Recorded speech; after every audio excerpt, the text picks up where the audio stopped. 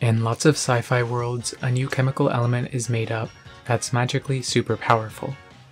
As much as I like this idea, it doesn't really make any sense, even with a high school level understanding of chemistry. No shade if you took high school chem and don't know this, that's why I'm here. It's totally valid if that kind of stuff flies over your head, I'm like that but for English and literature stuff.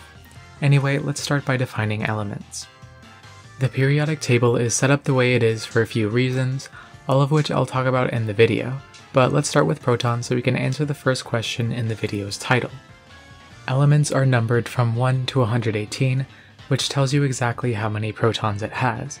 Chlorine is 17, meaning it has 17 protons. Uranium is 92, meaning it has 92 protons. The bigger the number, the bigger the atom.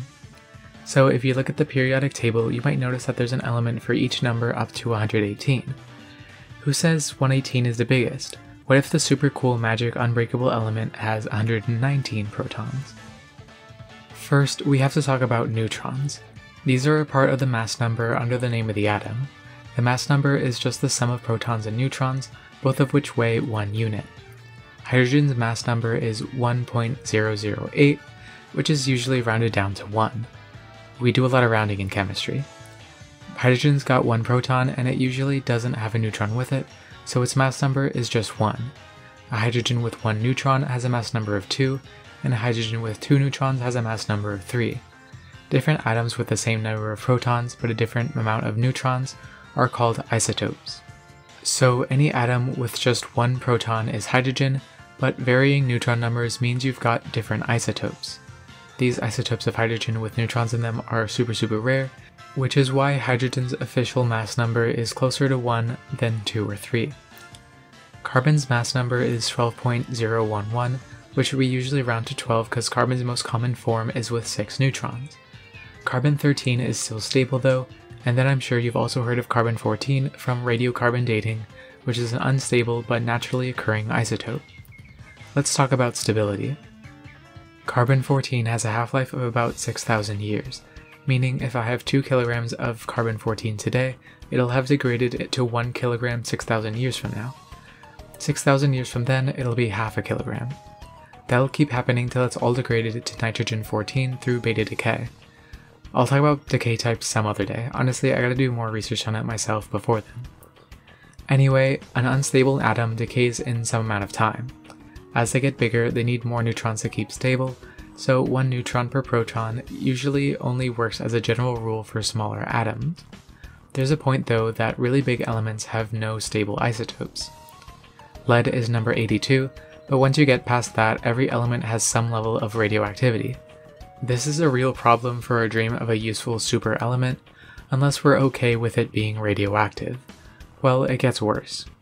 With an atomic number of 83, bismuth is technically radioactive, but its half-life is longer than the age of the universe, so it's probably fine. It's really not dangerous at all to handle or have on you. Side note, if you're wondering how the heck we know about these super long half-lives, no one's sitting next to carbon-14 for a few thousand years to see when it decays to half its original weight.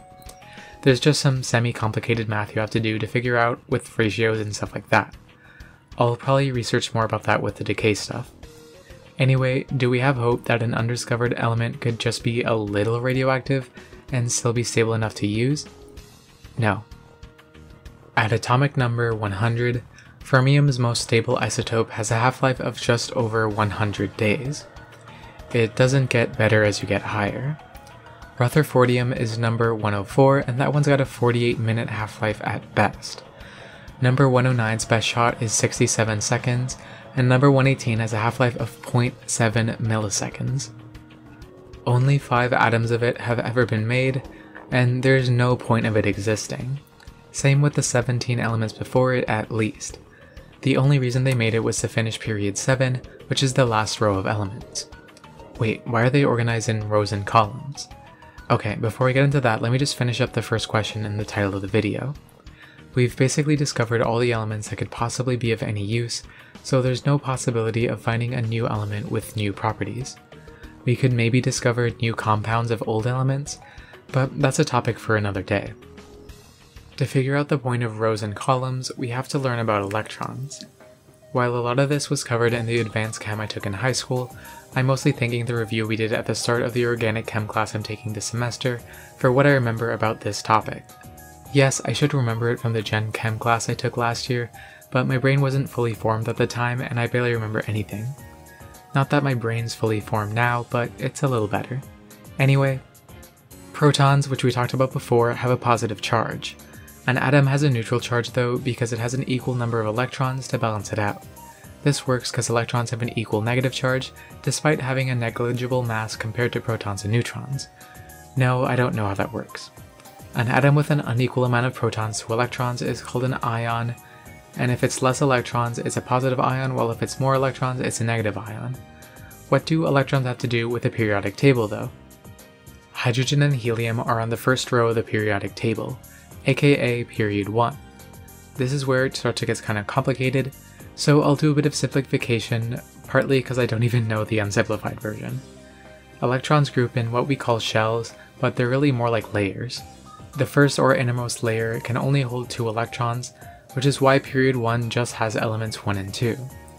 The next two shells can hold 8 electrons, the next two after that can hold 18, and the last two can hold 32. However, and this is very important, the outermost shell, which we call the valence shell, can only hold 8. The valence shell is the most important one, and it decides a lot about the properties of the element.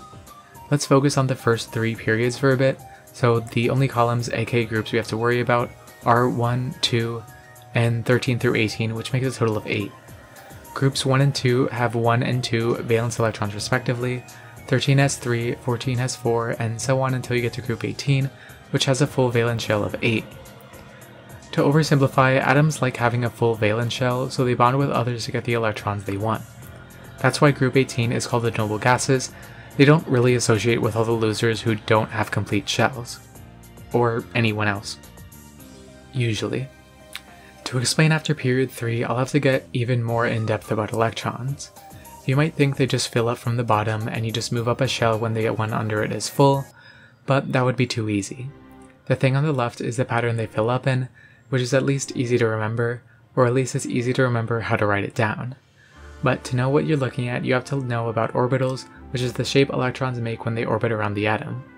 It's defined as being a 90 something percent chance that you'll find an electron in the spots you looked.